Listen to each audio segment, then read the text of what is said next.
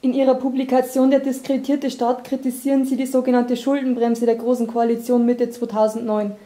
Als normaler Bürger mag man an die große Summe der Staatsschulden denken und dieses Vorhaben unterstützen. Warum sind Sie gegen solche Maßnahmen?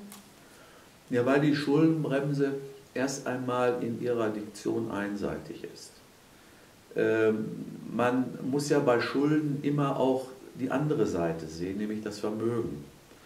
Äh, wenn wir eine Schuldendebatte führen, dann wäre ich dafür, und das nur wäre seriös, gleichzeitig eine Vermögensdebatte zu führen. Weil der Saldo aus Vermögensbeständen und Schuldenbeständen ist immer null. Und das ist die Einseitigkeit auch, die ich anklage, äh, auch äh, gegenüber der Politik anklage. So kann man einfach seriös mit den Dingen nicht umgehen.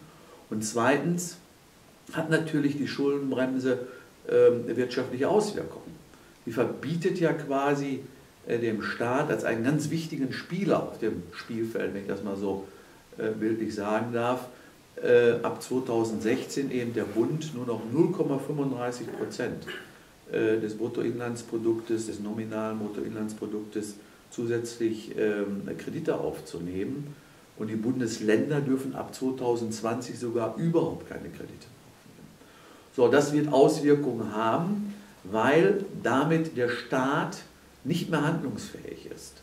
Er ist ja zurzeit schon unterfinanziert. Völlig unterfinanziert, da können wir viele staatliche Bereiche herausnehmen. Nehmen Sie den Bereich, den großen Bereich der Bildung, Schulen, Kindergärten, Hochschulen. Wenn man eine Schuldenbremse oder eigentlich müsste man sagen eine Kreditaufnahmungsgrenze setzen würde, dann wäre ich dafür, das im Rüstungsbereich zu machen. Aber das meint man damit nicht. Ein Grund, der immer für Verschuldung genannt wird, ist ja der überbordende Sozialstaat. Äh, der ehemalige Bundespräsident sprach eins davon, äh, wir alle hätten über unsere Verhältnisse gelebt und müssten nun unsere Gürtel enger schnallen. Was halten Sie von dieser Ursachenanalyse? Ja, die ist falsch. Die ist einfach falsch. Er wäre jeder Grundlage, äh, egal. Ich meine, man muss ja erst einmal sehen, äh, Staat, Staatsquote, äh, da fängt ja schon die Täuschung an. Ja, da werden alle Sozialversicherungszweige, also Rentenversicherungen und Krankenversicherungen und so weiter, werden äh, zum Staatssektor gezählt. Das ist ja schon falsch.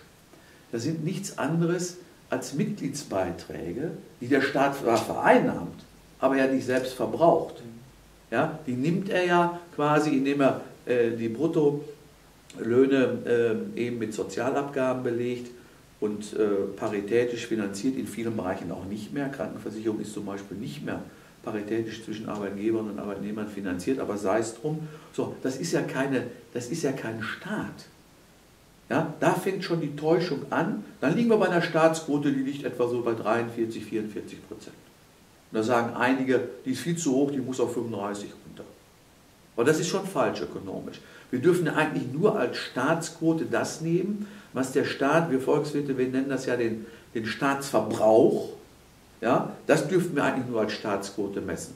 Also das, was der Staat ausgibt für Infrastruktur, für die Lehrer, für die Polizisten, für die Gerichtsbarkeit und so weiter, das ist eigentlich nur äh, im Grunde genommen Staat und dann liegt die Quote noch bei 20, 25 Prozent. Steuererhöhungen waren ja gar nicht da. Dann hätte der Staat sich nicht verschulden müssen. Das hat er aber gemacht, ja, weil eben zu wenig auch an Steuern vereinnahmt worden ist, durch eine völlig falsche Steuerpolitik. Wenn Sie sich da einfach nochmal in Erinnerung rufen, die unsägliche äh, Steuerpolitik äh, der Schröder-Administration 2000, die Unternehmenssteuerreform.